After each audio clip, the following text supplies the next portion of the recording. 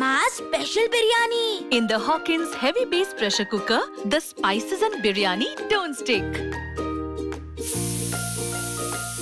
Biryani is ready in just 45 minutes. Mmm, my mom's food is bestest. My Hawkins makes it fastest. Hawkins.